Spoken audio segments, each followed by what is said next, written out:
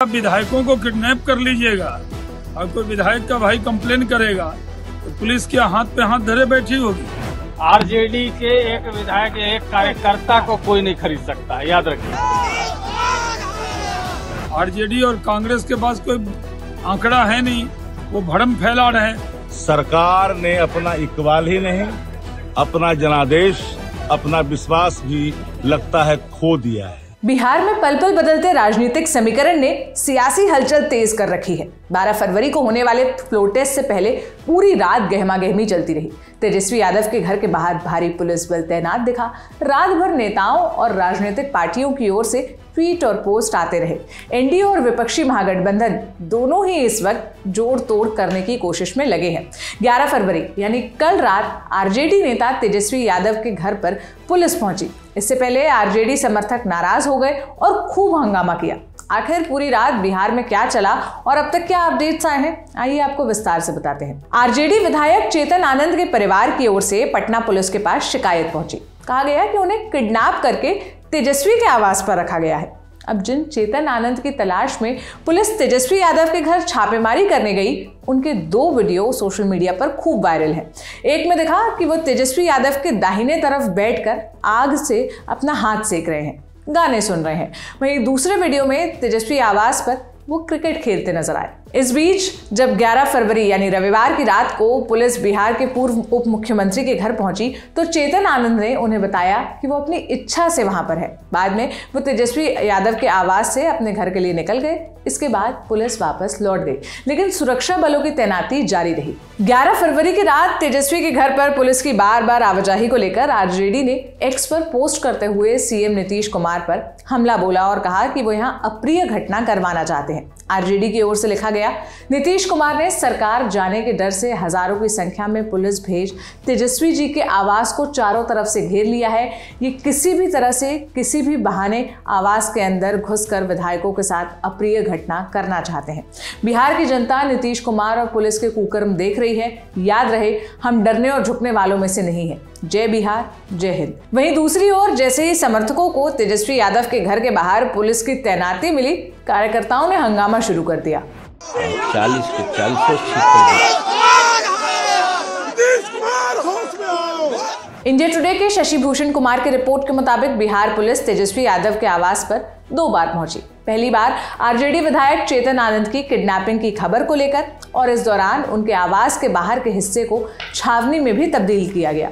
साथ ही सड़क के दोनों ओर बैरिकेटिंग कर दी गई। इसके बाद SDM SP city Tejashwi Yadav के आवास में दाखिल हुए। कुछ देर बाद जब पुलिस बाहर निकली तो आरजेडी के समर्थकों ने उनकी गाड़ियों के पीछे दौड़कर नारेबाजी की। ये बताइए, रात को दो बज रहे हैं, पुलिस की फोर्स चारों तरफ़ खड़ी है। क्या माजरा क्या है? आज़ाद हिंदुस्तान में कभी आपने किसी राज्य के अंदर ये न देखा हो, देखे होंगे कि दल की अगर बैठक मैराथन दो दिन से चल रही है तो उस पर शासन के अधिकारी का आना, सरकार ने अपना इकबाल ही नहीं, अपना जनादेश, अपना विश्वास भी लगता है खो दिया है।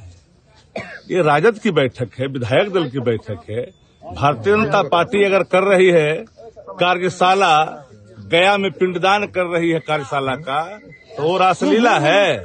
और राजद अगर अपने विधायकों के साथ पटना में बैठक कर रही है दो दिन से तो कैरेक्टर ढीला।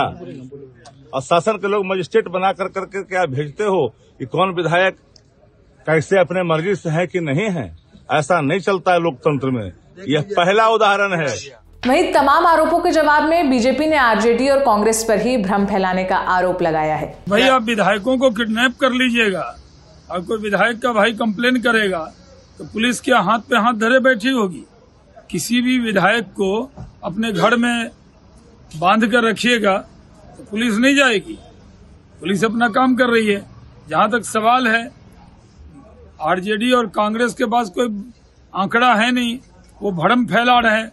भारतीय जनता पार्टी जेडीयू हम हम लोग मिलकर असेंबली के फ्लोर पर बहुमत साबित करेंगे इसमें कोई शक की गुंजाइश नहीं है। हमारे जो आंकड़े हैं वो जो लोग उम्मीद पाले हुए हैं वो मायूस हो जाएँगे। हमारे आंकड़े हमारे नंबर से भी कई ज़्यादा निकलने वाले एनडीए के कई विधायक जो है नॉट रिचेबल बताया जा रहा है सब संपर्क में है कोई नॉट रीचेबल नहीं है। वो भ्रम पैदा किया जा रहा है। कोई भ्रम में न रहे। एनडीए के विधायक एकजुट हैं और आरजेडी कांग्रेस के अंदर लोग मिसिंग हैं, वो अपनी फ़िक्र करें। इस समय बिहार की राजनीति में जिस शब्द की सबसे ज़्यादा चर्चा हो रही है, वो शब्द है खेला। बिहार विधानसभा में कुल विधायकों की संख्या दो है। सदन में बहुमत साबित करने के लिए 122 विधायकों का समर्थन ज़रूरी है। एनडीए का दावा है कि उनके पास 128 विधायकों का संख्या बल मौजूद है। वहीं विपक्ष के पास कुल 114 विधायक हैं। इस बीच देर रात ये भी खबर आई कि फ्लोर टेस्ट से पहले एनडीए कैंप के कई विधायकों के फ़ोन नहीं लग रहे। उधर जीतन राम मांझी का भी फ़ोन रात के 10 बजे के आसपास अनरीचेबल आया। स्विच ऑफ़ आया। बिहार में एक और जहाँ एनडीए बहुमत का दावा कर रही है तो वहीं दूसरी ओर विपक्ष खेला होने की बात कर रहा है। अब देखना होगा कि आज बिहार में क्या खेला होता है। जो भी अपडेट आएगा, हम आप तक ज़रूर पहुंचाएँगे। बाकी आप क्या राय रखते हैं, कमेंट बॉक्स में ज़रूर बताइएगा। सारी जानकारी मेरी साथी सुप्रिया ने जुटाई थी। मेरा नाम सोनल है। देश और दुनिया की तमाम खबरों के लिए लल्लन टॉप देखते रहिए। शुक्रिया।